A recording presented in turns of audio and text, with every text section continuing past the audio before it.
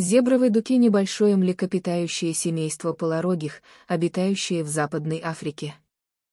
Дукер длиной 70 см, высота в холке 50 см, вес 20 кг.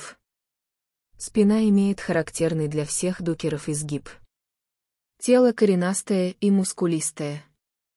Рога и ноги короткие. Копыта широко расставлены. Шерсть светло-оранжевого окраса. На спине выделяется рисунок из 12 черных, зебровых, полос. Они проходят вертикально от спины, по бокам вниз. Окрас нижней стороны, а также спины варьирует от белого до почти черного цвета. Населяет густые тропические леса. Ведет дневной образ жизни. Питание состоит преимущественно из листьев и продуктов полеводства.